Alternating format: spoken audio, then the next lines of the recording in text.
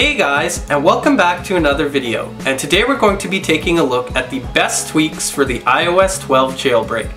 Also, be sure to take a look at the description down below for all of the available sources. So, let's get started!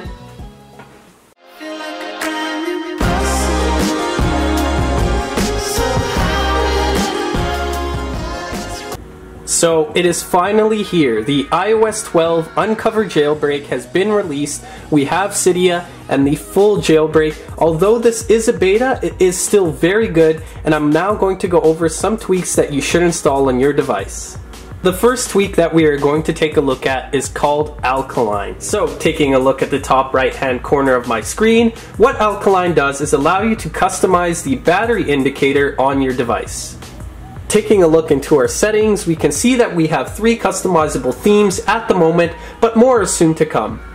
The next tweak we're going to look at is called BioProtect XS. Now, this works on devices with both Touch ID as well as Face ID. What this tweak does is allow you to block certain settings and applications on your device, only making them accessible with your bio authentication. So if we take a look here, I've uh, put BioProtect on the Instagram app now it will only open if it has my Touch ID authentication.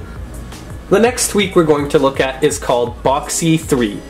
Boxy allows you to add a custom home screen layout to your device. So as we can see, I have my icons sorted in a unique way that is not the same as the stock iOS. Now to adjust this, all we have to do is tap with two fingers on the home screen and an adjustment window will pop up. Overall, Boxy is a unique tweak and it adds a really cool custom look to your device. Now the next tweak we're going to look at is probably the first one I install every time I jailbreak. It is called Cylinder, formerly known as Barrel. And what this allows you to do is add unique uh, transitions to your home screen layout. So if we take a look here, every time I swipe left and right between my home screens, there is a unique transition. The next tweak we're going to look at is called Floaty Dock. What Floaty Dock does is add a dock similar to the one on the iPhone 10 devices as well as the iPad with the rounded edges. With Floaty Dock, you're allowed to add multiple icons to your dock as well as pull it up in applications just as seen on the iPad devices.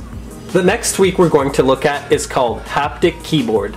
Just as it says in the name, the keyboard adds a haptic vibration every time you type, and it is a really cool feeling when typing on the device. The next tweak we're going to look at is one that I use quite often when my device glitches or there's some errors that I want to respring. It's called pull to respring. How this tweak works is hopping into our settings app and pulling down from the top will prompt us to respring our device. Now I have authentication on that, but once I input my credentials, my device will respring. The next tweak we're going to be looking at is called Snowboard. Now this is a themes installer similar to Winterboard and Anemone. And the theme that I have active on my device is called Essential Basic. It is a really cool theme, very clean, and complements my device well. The next tweak we're going to be looking at is called Video HUD.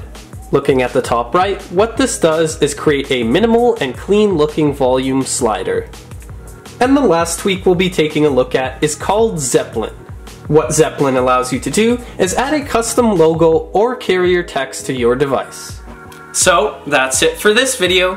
Be sure to comment, like, share, and subscribe for more videos. Thanks for watching!